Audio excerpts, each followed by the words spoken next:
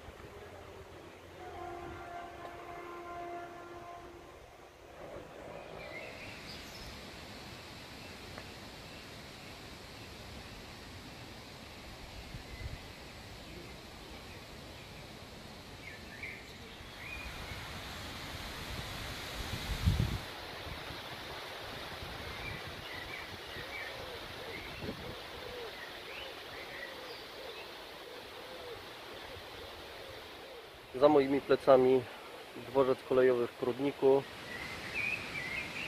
A gdzieś tam przede mną z drugiej strony już się zbliżam do tego. Kropka czerwona, tabliczka i drogowskazy pierwsze. Początek głównego szlaku sudeckiego. Jest 8 czerwca godzina 14.30 ruszam w tę przygodę z wielką nadzieją, z wielkim optymizmem. No i co? Co mnie czeka? Nie mam pojęcia zielonego. Jaka to będzie przygoda? Czy uda się dojść? Gdzie uda się dojść? Mam nadzieję, że będzie to meta. Jestem podekscytowany mocno, szczerze powiem. Eee, tutaj jest tak napisane do Świeradowa 112 godzin, tak pewnie jakby się szło bez przerwy. Ja natomiast przeznaczam na to 2,5 tygodnia. Sobota 8 czerwca chcę skończyć w środę 26, czyli mam na to 18 dni. Na razie się kręcę tutaj po tym parkingu przed tym dworcem. Troszkę inny start niż głównego szlaku beskidzkiego w Ustroniu, choć też przy dworcu. Tak więc nie przedłużam, tylko ruszam gdzieś tam.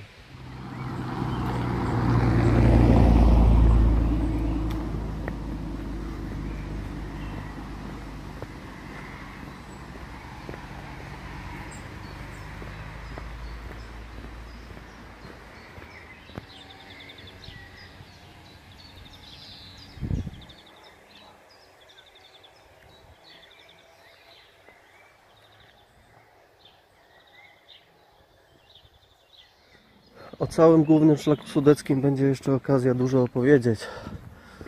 E, Na razie tylko kilka słów w tym dzisiejszym odcinku, który można by tak nazwać intrem, ponieważ dzisiaj najkrótszy etap z wszystkich, które mam zaplanowane, bo zaledwie około 11 km z racji tego, że dzisiaj wyjechałem z Katowic rano i to znaczy rano nawet i to takim pó- późnym porankiem, bo o godzinie 11 wyszedłem z domu, czy przed 11. No i e, dojechałem do Prudnika dopiero 14.30, więc z racji tego późniejszego startu i trasa krótsza, zaledwie do Wieszczyny dzisiaj. Tak więc teraz kieruję się ku centrum Prudnika, potem gdzieś tam w stronę Koziej Góry i na wieżę widokową. Masyw Długoty cały do przejścia. No i do Wieszczyny, do schroniska szkolnego. Tam mam zarezerwowany nocleg. Yy, tak więc dzisiaj na taką rozgrzewkę, bez jakichś większych gór, raczej spacerek czysty. No jutro będzie e, pierwszy masyw górski, gó- góry opawskie. Znaczy powiedziałbym tak większe, bo Długota chyba się też zalicza do gór opawskich. E, Natomiast trochę więcej będzie podejścia i więcej wysiłku. No potem wiadomo, całe to przedgórze Paczkowskie i dopiero e, od Złotego Stoku się zacznie e, trochę więcej wysiłku. Ale to dopiero za kilka dni. Tak naprawdę najważniejsze, żeby teraz się trochę rozgrzać. e, Dojść dzisiaj do tego pierwszego punktu. Tu widzę wieża Woka mi się już odsłania właśnie z, z zadziałek można powiedzieć. No tak więc ruszam w tę drogę. No. Upalnie w Katowicach, a tutaj chłodek przyjemny w Prudniku. Także nie, nie mogę narzekać. Ty- Tyle, że jest zachmurzone i myślę, że może zac- zacząć padać niedługo, jak tak dalej pójdzie. Ale ekwipunek jest, przygotowany jestem, także nic mi na tej trasie nie będzie straszne.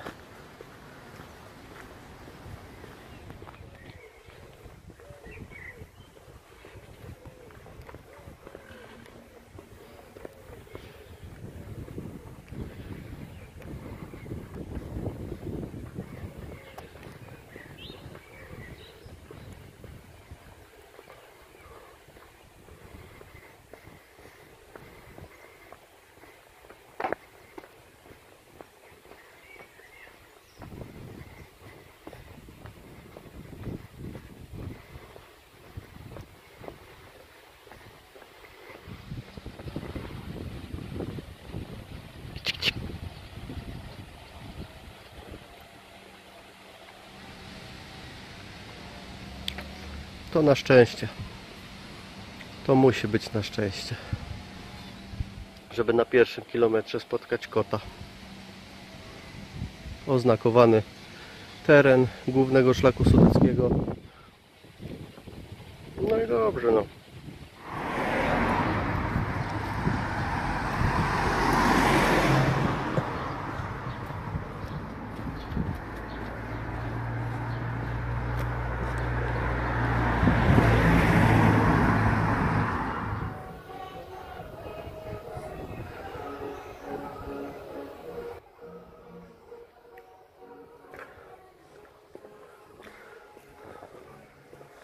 Where do I go?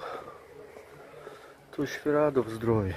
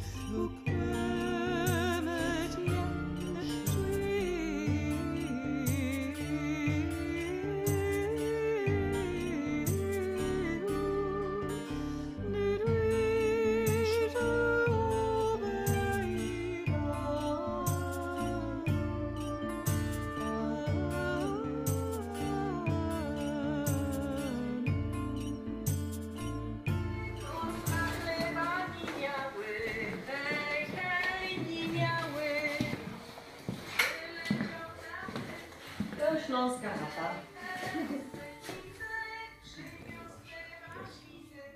Ślązaczka w swoim stroju takim codziennym.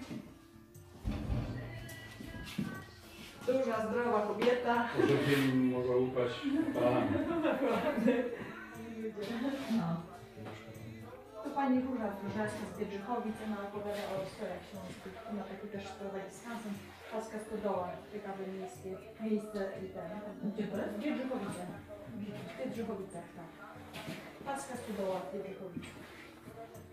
Farska Stodoła. Farska? Tak, Farska Stodoła.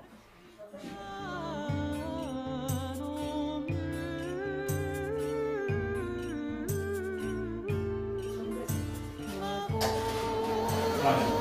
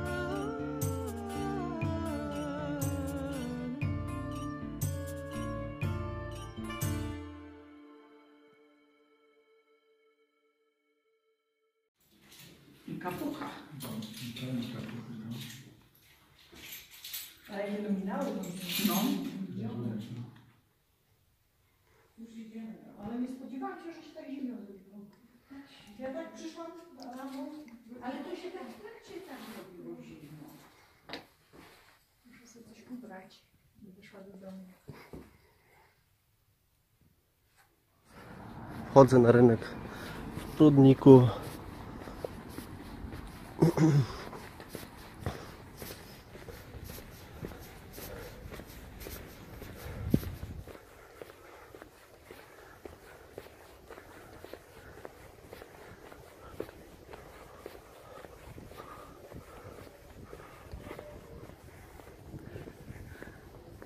Z ratuszem na czele.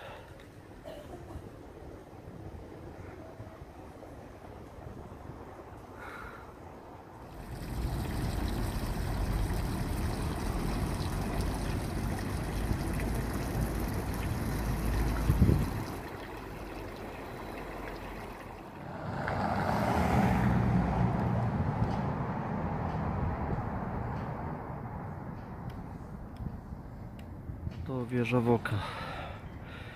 Nie jest udostępniona teraz do zwiedzania, ponieważ jakieś tam ekspertyzy wykazały, że schody stanowią zagrożenie. Podobno od 1 maja miała być już czynna, mm, ale przedłuża się wszystko. Także niestety na nią nie można wejść. Jedyne widoki miałem z wieży Kata, chyba jak to pani nazwała, w Muzeum Ziemi Prudnickiej, do którego postanowiłem wstąpić sobie, mając taki, takie założenie też całego tego głównego szlaku sudeckiego, żeby po prostu korzystać z różnych rzeczy, wchodzić gdzie się da e, i po prostu nie skąpić czasu na to, bo wiele wycieczek było takich e, tych jednodniowych, na przykład, że trzeba było gdzieś zdążyć na pociąg, autobus i tak dalej. No i przez to e, człowiek no, tracił dużo możliwości. Teraz mając po prostu całe dnie do dyspozycji, do, e, bez jakiegoś tam deadline'u, że trzeba do którejś godziny dotrzeć na miejsce noclegowe, mogę sobie na więcej pozwolić. I to też uczyniłem właśnie w Muzeum Ziemi Prudnickiej, a tu taki relikt PRL-owski, można powiedzieć, yy, na tle ratusza, który znajduje się na ręku I już widać tak naprawdę na samym początku, że to jest coś zupełnie innego niż główny szlak beskidzki. Tu będzie więcej miejscowości na trasie, więcej miejscowości powiedzmy średnio większych niż na GSB. No specyfika obu szlaków jest trochę, trochę inna.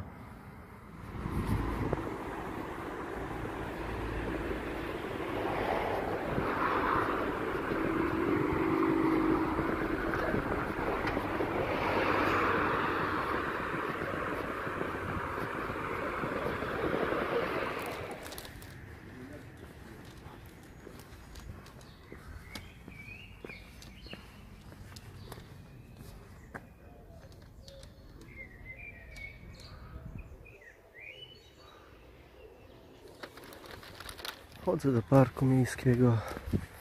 Trochę jak park w Rabce, przez który się jednak nie przechodzi tam, tylko wzdłuż, czy też obok.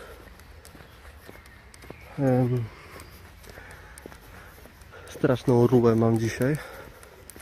Od tego przyjścia, już dwie godziny temu przyjechałem do Prudnika, a doszedłem dopiero do parku. No ale tak jak mówiłem, nie chcę mi się nigdzie spieszyć, a przynajmniej ten wieczorny urok wędrówki też powinien być. Problem w tym, że tu zaczyna trochę padać. No ale mam nadzieję, że nie będzie jakiejś ulewy większej.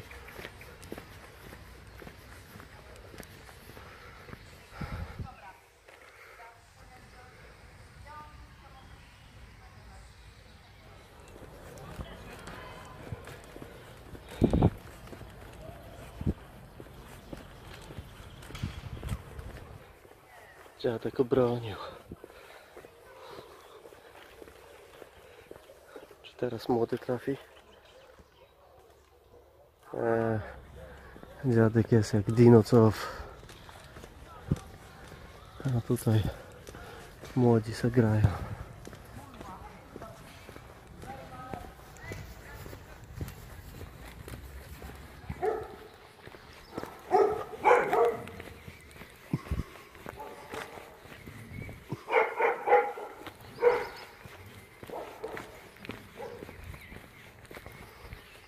No dobra, jest trochę płaskiego i długiego, więc e, mogę kilka słów powiedzieć tak w ogóle. Oczywiście nie będę mówił skąd pomysł na, na główny szlak sudecki, bo tak naprawdę z tego samego powodu co pomysł na główny szlak beskidzki, czyli żeby e, zrobić coś większego, coś w długim okresie czasu, e, dokonać jakiegoś takiego celu, można powiedzieć, rocznego, tak jak rok temu było GSB. No tym razem w logicznym następstwie padło na GSF. Em, tak więc idę. 440 km, 2,5 tygodnia do przejścia.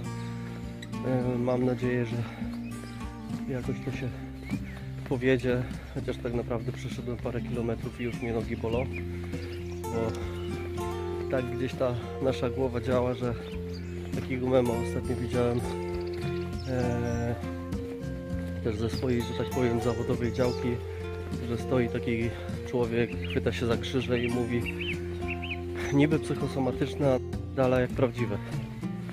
No więc coś, coś w tym jest, no tak jest ten, ten, ten nasz mózg tak jest skonstruowany. Staram się do tego, e, do tych, do tych jakichś tam oczywiście pojawiających się tuż przed wyjazdem dolegliwości kompletnie nie przywiązywać wagi, a zresztą i tak rok temu było dużo gorzej, teraz uważam, że był super e, forma i, e, i, i żadnych tam większych problemów nie było.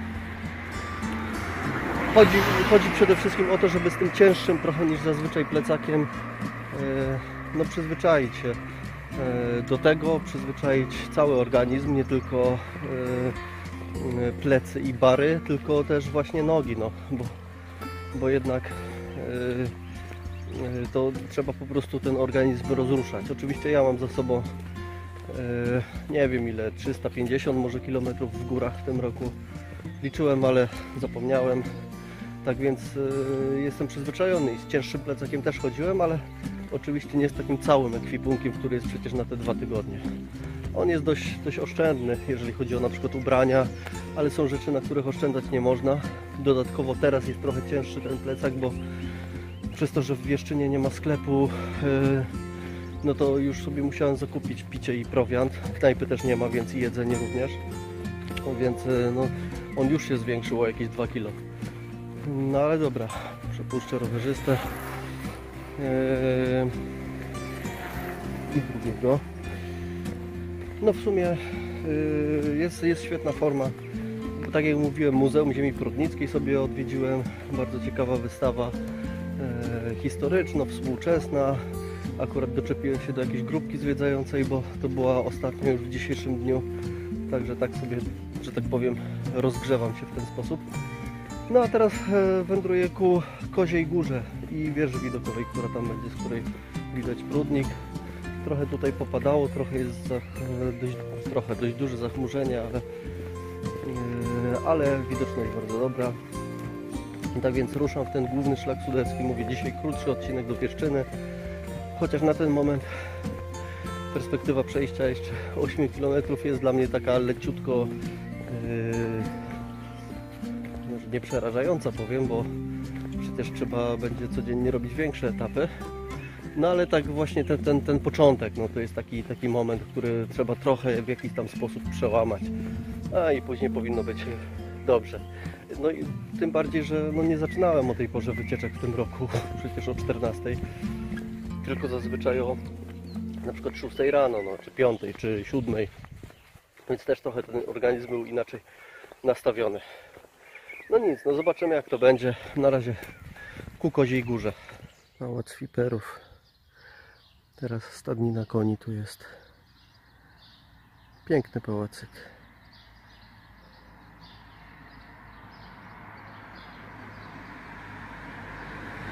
Kaplica świętego Antoniego.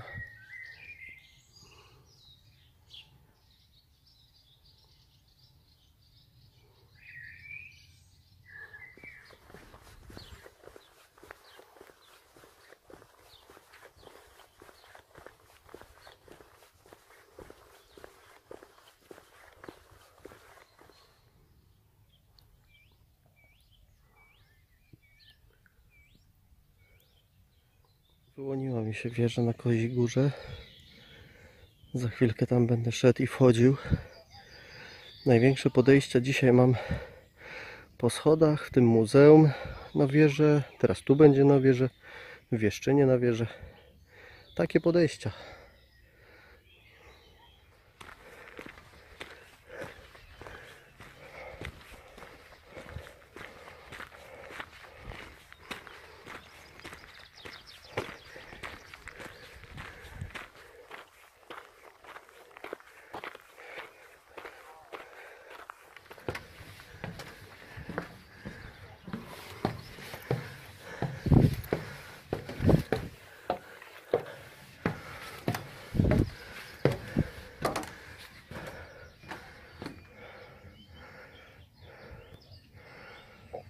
Jestem na wieży widokowej na Koziej Górze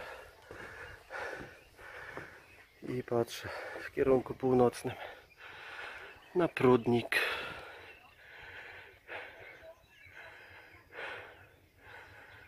Stamtąd przychodzę.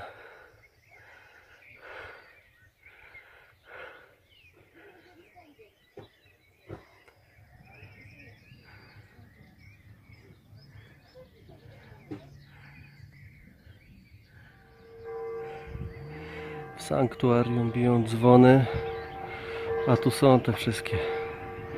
Wieża Woka z ratusza.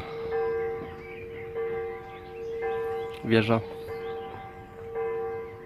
Tam centrum Prudnika. To jest po stronie północnej. To jest strona wschodnia.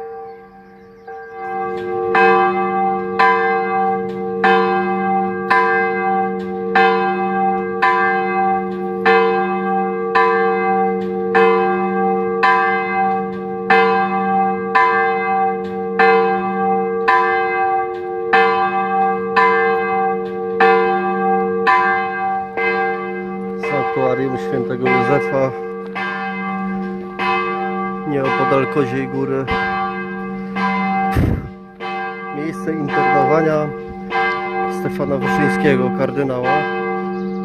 Podobnie jak w, na głównym szlaku beskidzkim w Komańczy. Także to jest taki punkt wspólny. Tutaj przebywał przez rok w 53, 53-54, także w paru innych miejscach. No, oczywiście w ramach represji komunistycznych. Takie to były kiedyś czasy.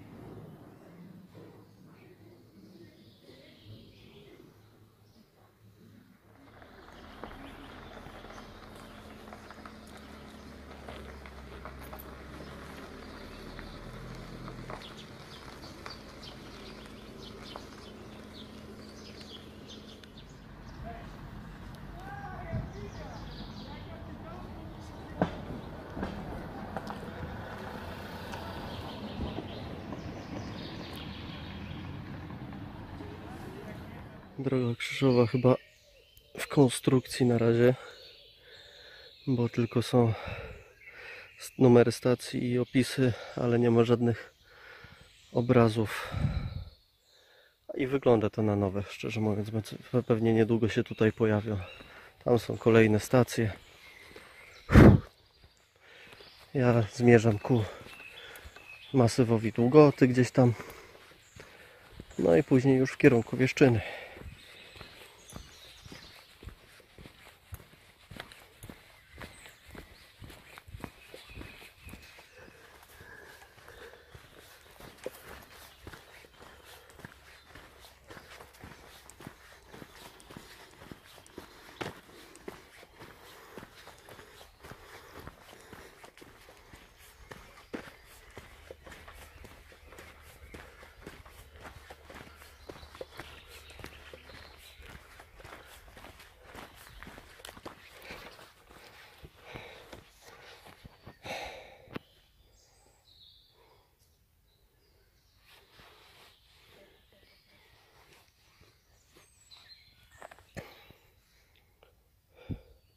Dywan.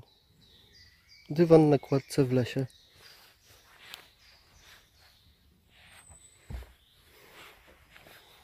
Bo to jest mostek Josi? Joasi? Juska. Dlatego taki dywan pewnie coś symbolizuje.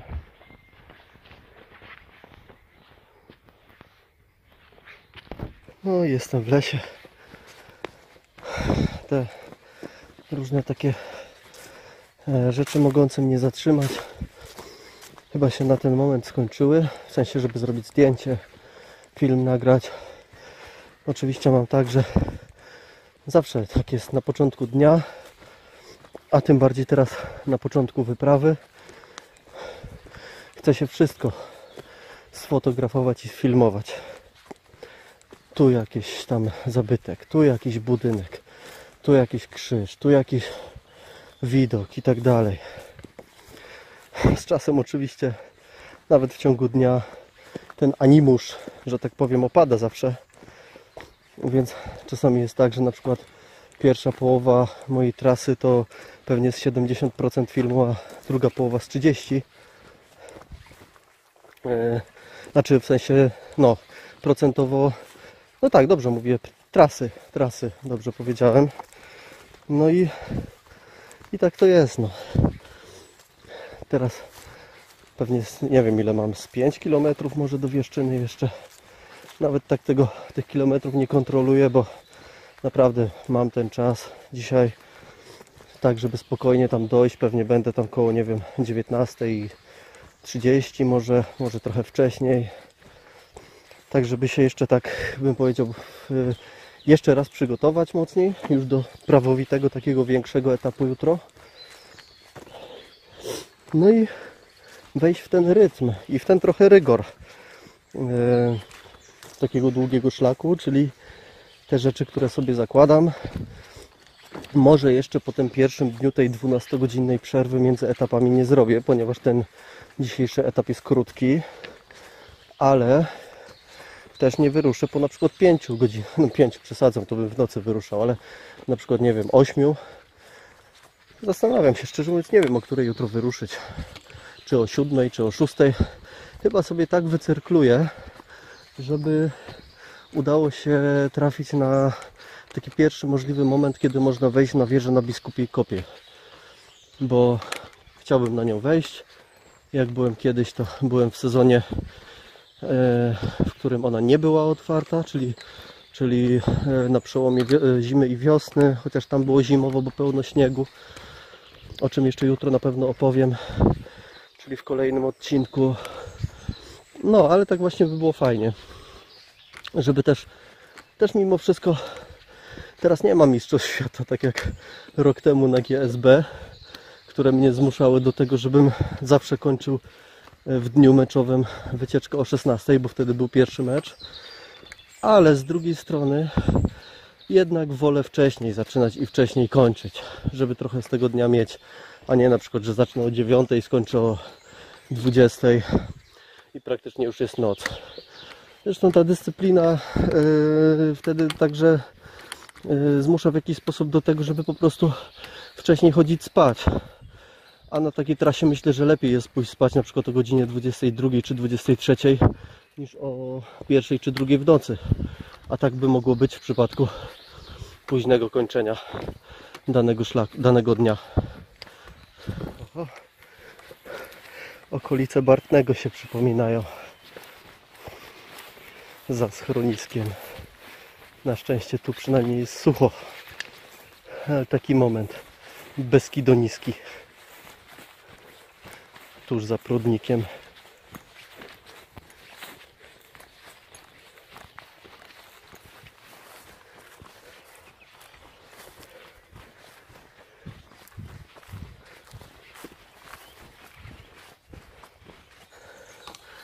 Już dochodzę do Kobylicy teraz.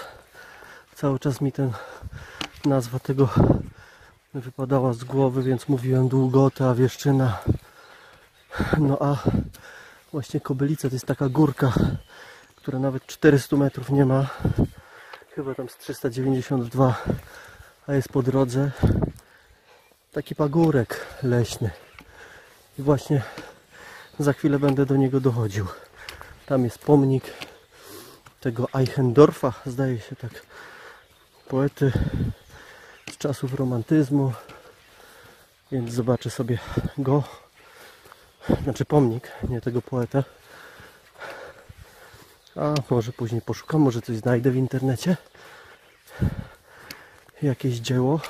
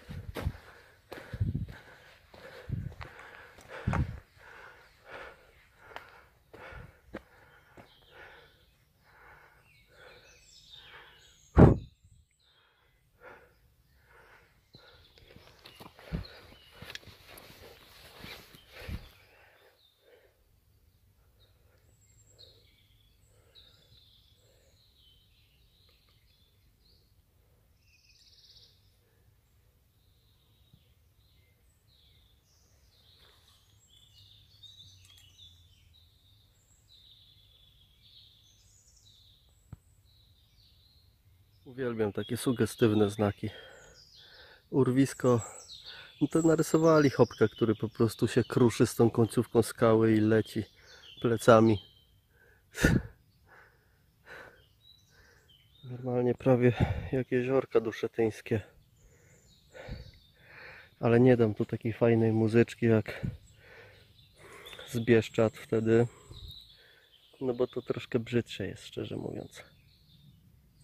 Od razu mi się tak nasuwa refleksja, że w sumie jakby też mogło ten główny szlak sudecki gdzieś koło kolorowych jeziórek poprowadzić w Rudawach Janowickich. Byłoby to odbicie jakieś w jedną i w drugą stronę, tam powiedzmy, nie wiem, z 8 czy 10 kilometrów. No ale mogłoby być w sumie, czemu nie? Jakby tak wydłużyć Sudecki do 500, to by się zmieściło spokojnie. Więcej niż jedno zwierzę to lama, owca.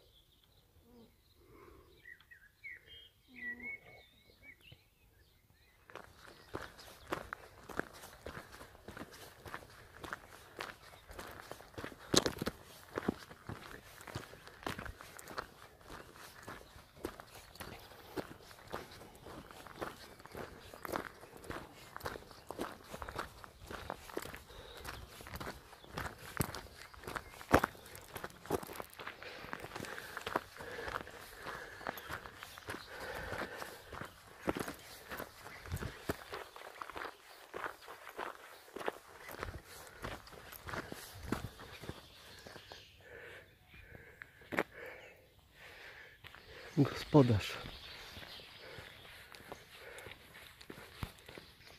Cześć, babuzie. Cześć.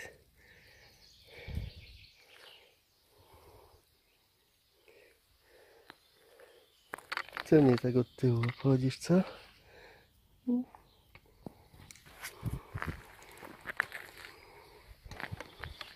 Cześć.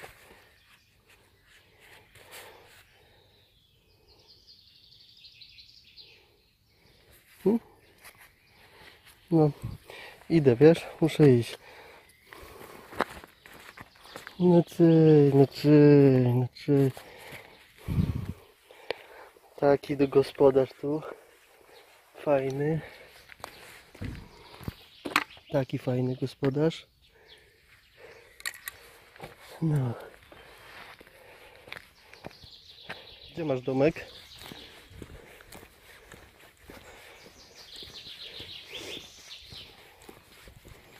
No na razie pisełku. Papa. Na długo te. Takie podejście mozolne.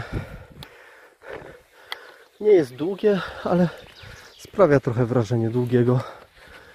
Może stąd ta nazwa. Nie wiem nawet. W każdym razie jest bardzo niedaleko do Wieszczyny do mety dzisiejszego etapu. Pierwszego etapu głównego szlaku sudeckiego.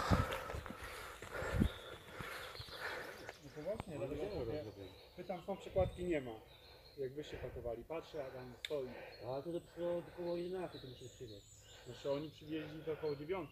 Do 9 była. To nie wiem, no bo mi nie mówią, że nie przyjeżdżają. W ogóle to myślę, że przez e, to, że przekraczam tę długotę, czyli górę mającą 450 metrów, to gdzieś tam odsłoni mi się zaraz biskupia kopa. No tak to logicznie powinno następować. Coś tam widzę w ogóle właśnie za drzewkami, tak? I podejrzewam, że to będzie to ale tymczasem czeka mnie dość strome zejście, bo na jednym kilometrze 100 metrów ponad. Także wyłączam się, no i się połączę pewnie w Wieszczynie dopiero, no chyba, że odsłoni mi się ta biskupia kopa i pierwszy widok na nią będę miał. Tak zresztą najprawdopodobniej za chwilę będzie, bo coś mi tam świta. Jest biskupia kopa z wieżą wyróżniającą się tutaj na tym moim niewyraźnym obrazku, ale jest. Jutro tam będę. Biskupia Kopa, czyli pierwsze takie poważne góry. Pierwsze, albo później przez 70 czy 80 km nie będzie w ogóle gór. Taki jest główny szlak sudecki, więc trzeba się będzie jutro trochę nacieszyć podejściami zejściami. No później będzie płaściutko. Jeszcze bardziej płasko w sumie niż kurczę dzisiaj na tych małych górkach.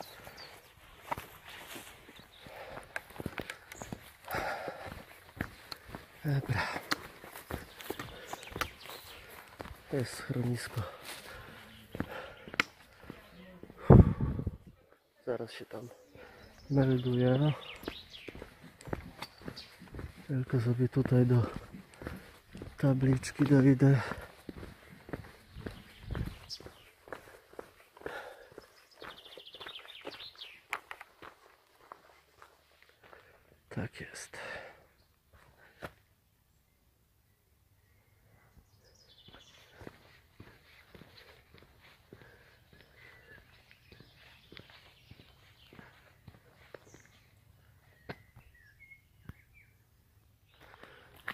jeszcze na zachód słońca na wieżę sobie wstąpię.